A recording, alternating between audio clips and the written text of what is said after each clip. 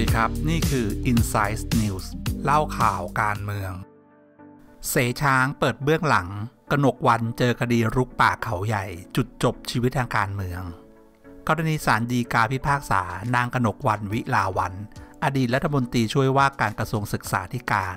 ฝ่าฝืนมาตรฐานจริยธรรมอย่างร้ายแรง รุกป่าเขาใหญ่ จังหวัดปราจีนบุรี เพิกถอนสิทธิการเมืองตลอดชีวิตนั้น พันเอกพงเพชรเกศสุภะ หัวหน้าชุดปฏิบัติการ ศูนย์ประสานการปฏิบัติที่ 4 กองอำนวยการรักษาความมั่นคงภายในราชอาณาจักร หรือสอปป 4 กองอำนวยการรักษาความมั่นคงภายในราชอาณาจักร กอรมน ผู้ซึ่งเข้าพื้นที่ไปตรวจสอบเรื่องนี้ตั้งแต่แรก ก่อนมีการแจ้งความดำเนินคดีกับนางกนกวันอย่างเป็นทางการ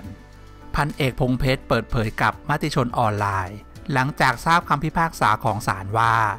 ถือว่าเรื่องนี้เจ้าหน้าที่ทำงานแล้วไม่เหนื่อยเปล่า พร้อมกับย้อนเรื่องขณะที่เข้าไปปฏิบัติงานในตอนนั้นว่า ครั้งแรกที่ลงพื้นที่ไปตรวจสอบเรื่องนี้เนื่องมาจาก ขณะนั้นนายสุนทรวิลาวัน อดีตนายกองค์การส่วนบริหารจังหวัดปราจีนบุรี ได้ทำหนังสือไปที่กรมอุทยานแห่งชาติสัตว์ป่าและพืชพันธุ์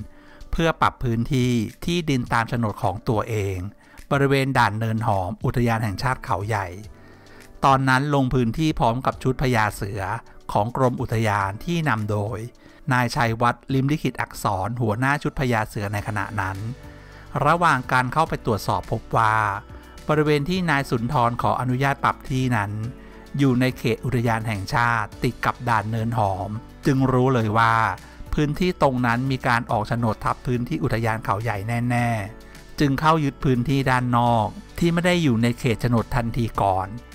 พันเอกพงเพชรกล่าวว่า หลังจากนั้น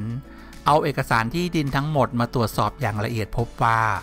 มีการออกโฉนดทับ และออกโฉนดคร่อมเขตอุทยานแห่งชาติ ที่เป็นป่าทึบหลายแปลง ทางกอรบนจึงทำเรื่องส่งให้นายชัยวัฒน์ดำเนินการ พันเอกพงเพชรบอกอีกว่า ครั้งที่สองที่ลงพื้นที่ ทางกอรบนเข้าพื้นที่ไปพร้อมกับ ทีมพยักภัยพญาเสือ และหน่วยในพื้นที่อุทยานแห่งชาติเขาใหญ่ ตรวจสอบเอกสารแล้วก็พบอีกว่า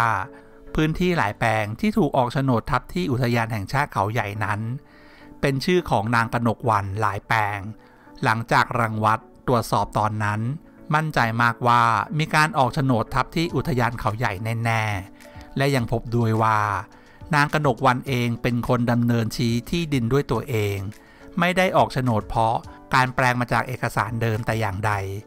คดีนี้นอกจากนางกนกวันแล้ว เจ้าหน้าที่ที่ดินและป่าไม้หลายคนก็มีความผิดร่วมด้วย พันเอกพงเพชรกล่าว ขอขอบคุณข้อมูลจากมัติชนออนไลน์ อย่าลืมกดติดตามหรือฝากคอมเมนต์ไว้ที่ใต้คลิปได้นะครับ ขอบคุณครับ